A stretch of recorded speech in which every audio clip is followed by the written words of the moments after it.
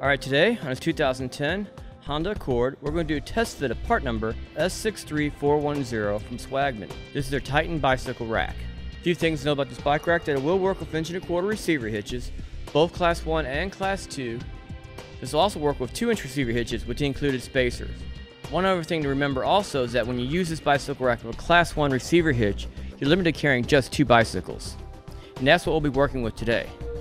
We'll start off our test fit by installing the bike rack into the hitch. We'll tighten down the anti-rattle bolt, then put the safety pin on the other side. Then we'll go ahead and get some clearance measurements. From the bike rack to the bumper, we're looking at a clearance of 7.5 inches. Clearance at the back of the rack will be about 12.5 inches. Now I'll go ahead and unfold the bike rack and check for overall distance.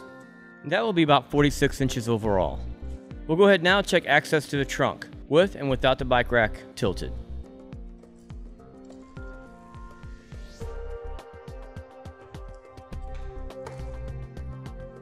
Alright, that looks good. Now I go ahead and load up the bike. First thing we do is make sure the straps are out of the way on the cradles we're going to use, and then we'll go ahead and tilt the anti-sway power cradle towards the inside.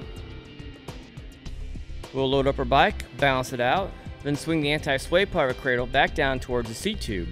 Run the strap around it, securing it, and then we'll go ahead and run the remaining straps over the top tube.